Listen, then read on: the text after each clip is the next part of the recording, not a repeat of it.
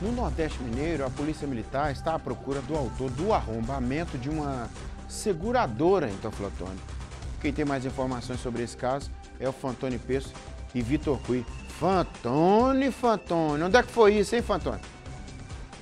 Nicomedes, nós estamos na área central de Teoflotone, onde a Polícia Militar registra, na manhã dessa sexta-feira, duas situações, pode-se dizer, atípicas. Eu vou começar com o Tenente Lozada. Tenente, a começar desse escritório aqui, o que, que aconteceu? Tivemos informação de que havia sido é, violado um estabelecimento comercial, né? então, nessa violação, os indivíduos aproveitaram é, da, da, que a vidraça do estabelecimento quebrou e subtraiu ali um computador e um celular que estava dentro do estabelecimento. Quantos suspeitos aqui? Aqui foram dois suspeitos. Já há alguma informação deles? Não, na verdade essas imagens elas foram, estão sendo trabalhadas para a gente ver se, se encaixa dentro dos perfis do, dos, dos indivíduos contumazes na prática desse, desse delito aqui na região.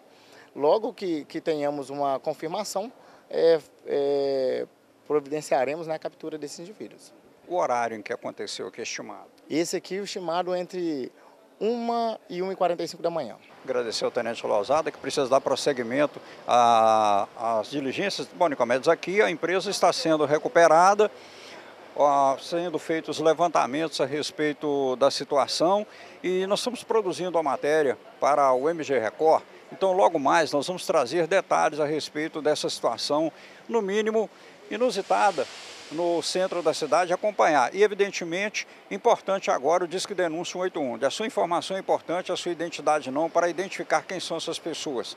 Com as imagens de Victor Cuif, Antônio Peço para o Balanço Geral.